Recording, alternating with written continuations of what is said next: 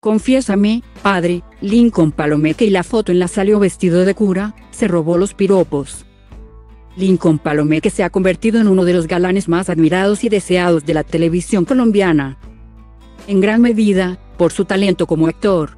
Por eso, ha sido parte de telenovelas nacionales. Pero también de exitosas producciones latinoamericanas.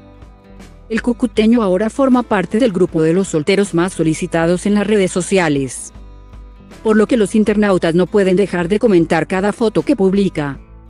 La última fotografía que publicó en Instagram, donde tiene 4 millones de fans, sorprendió a los seguidores.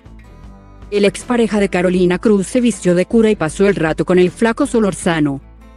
Según su publicación, la fotografía es de uno de los últimos episodios de La Reina del Sur 3. La producción que ambos actores filmaron con Netflix.